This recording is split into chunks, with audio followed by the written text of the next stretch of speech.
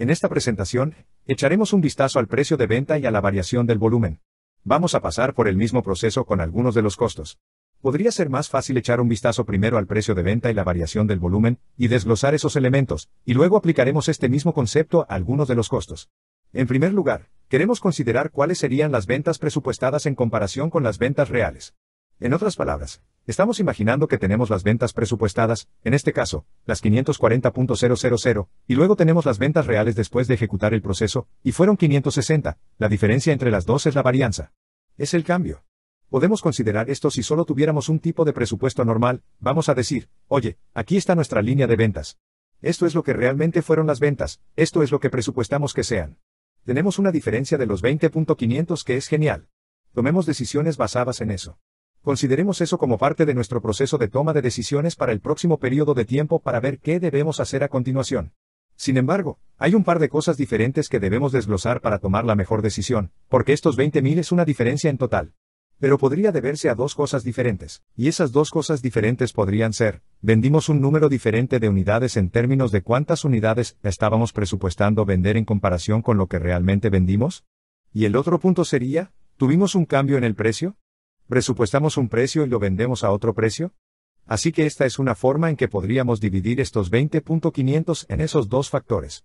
Va a ser nuestra información en la parte superior, y la completaremos en este formato abajo y a medida que lo hagamos, tendremos una especie de método de tipo pictórico para desglosar nuestras dos variaciones. Así que nuestra información en la parte superior. El AC va a ser la cantidad real.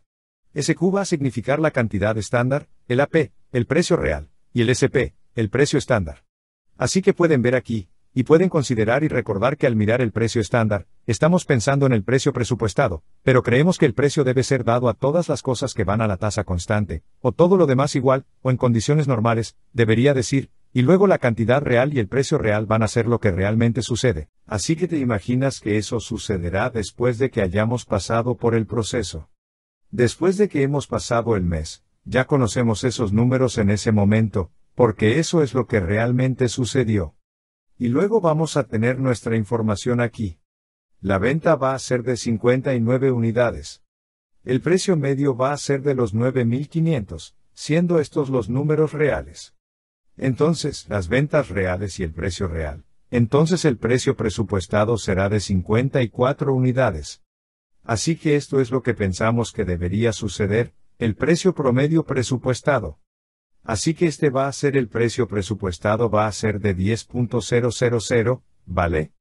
Así que vamos a tomar esta información, vamos a comparar, como lo hicimos antes, las ventas reales y las ventas presupuestadas y luego usaremos este tipo de variante intermedia para dividirlas en sus componentes.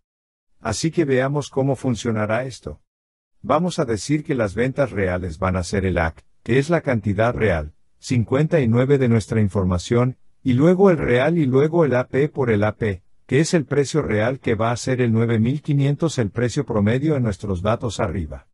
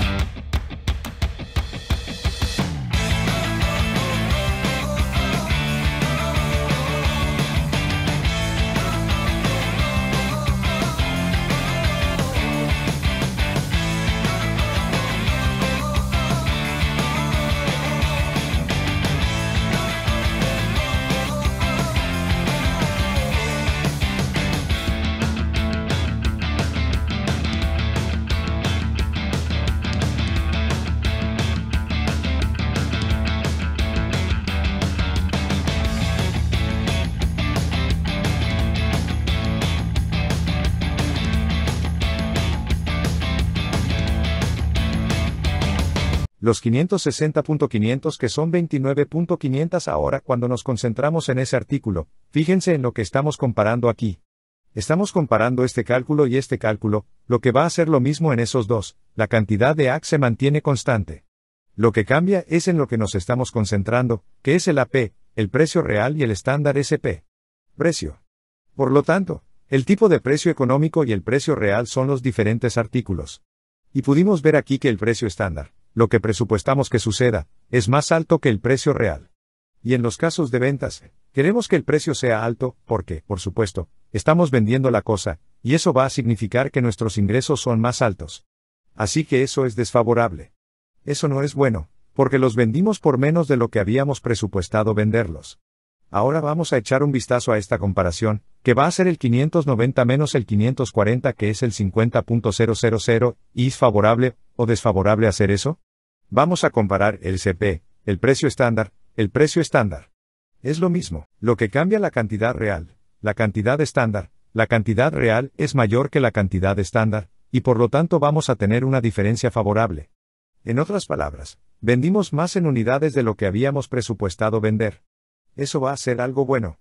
Y si piensas en esto, tendría sentido, diríamos un, bueno, los vendimos por menos de lo que pensábamos que los íbamos a vender, pero vendimos más, ¿verdad? Así que eso tendría sentido. Así que vamos a ver si eso, si eso funciona, y eso va a explotar, entonces en nuestra variación del precio de venta. Aquí están los 59.000, 59.000 desfavorables. Esa es la variación del precio, porque es la diferencia entre el precio presupuestado y el precio real. Y luego tenemos la variación del volumen de ventas porque es la diferencia en la cantidad.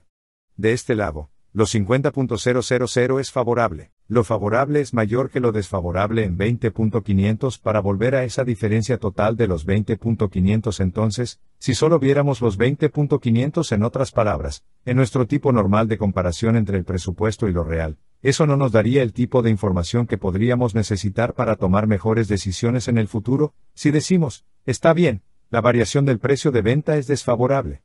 De 29.500, lo que significa que los vendimos, posiblemente por menos.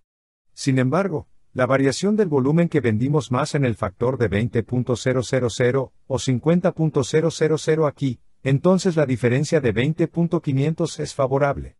Así que posiblemente cualquier disminución en el precio con el fin de aumentar el volumen que esperaríamos valió la pena en ese caso, y tal vez eso nos ayudaría en nuestra toma de decisiones en el futuro. Así que,